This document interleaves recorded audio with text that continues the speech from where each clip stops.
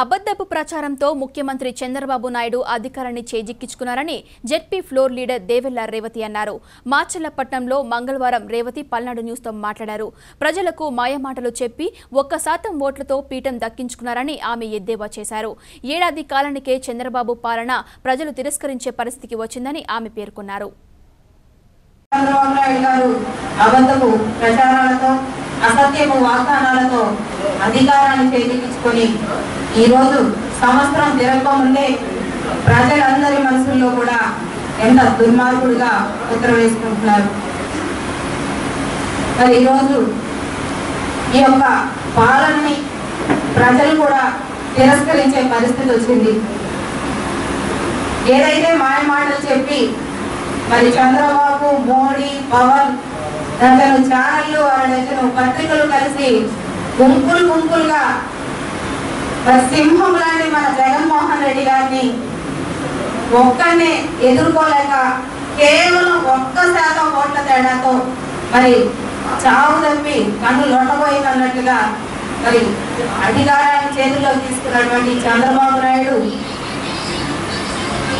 ఈరోజు మరి కార్యకర్తల మీద కానీ మన వైఎస్ఆర్సీపీ కార్యకర్తల మీద కానీ మన వైఎస్ఆర్సీపీ నాయకుల మీద కానీ ఏ విధమైన ఏ విధమైనటువంటి అధికారులు ప్రదర్శిస్తున్నారో మనందరికీ తెలుసు.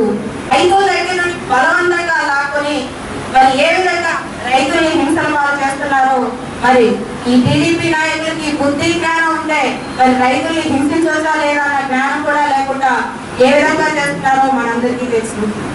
మరి ఈరోజు జగన్మోహన్ రెడ్డి గారు ఈ యొక్క జిల్లాలో పెద్దలు ఉమారెడ్డి గారు అయితే మరి గ్రామాల్లో జరుగుతున్నటువంటి మండలాల్లో జరుగుతున్నటువంటి మరి పట్టణాల్లో జరుగుతున్నటువంటి ఈ యొక్క అన్యాయాల్ని కానీ మనకి జరుగుతున్నటువంటి అన్యాయాల్ని మన వాణిగా జిల్లా పరిషత్లో పోట్లాడే సత్తా ఉన్న వ్యక్తి ఉమారెడ్డి వెంకటేశ్వర్లు గారు కాబట్టి మరి ఇక్కడ ఉన్నటువంటి సభ్యులందరం కూడా నాతో సహా కొత్తగా ఎన్నికైన వాళ్ళమే.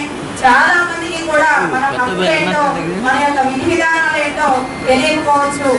మరి మనందరికీ మార్గదర్శకంగా నిలబడి పెద్దలు మన తరఫున మనకి రావాల్సిన హక్కుల్ని కానీ ప్రజలకు మనం చేయాల్సిన మేలును కానీ మరి ఈ టీడీపీ నాయకుల మెడలు వంచి అధికారుల మెడలు వంచి మన పనులు మనకి సక్రమంగా చేర్పించు జరిపించడం కోసం మరి మన ముందుండి మనల్ని నడిపిస్తారని చెప్పి మరి టీడీపీ ఈరోజు ఏ విధంగా పాలన చేస్తుందో మనం చూస్తున్నాం. పక్క రాష్ట్రంలో కూడా ఏ విధంగా వ్యక్తులను కూడా లంచాలకు మరి ఓటుకు నోటు అంటూ ఐదు కోట్లని ఎర్ర చూపి మరి ఏ విధంగా రేవంత్ రెడ్డి పని చేస్తారో కూడా మనకు తెలుసు.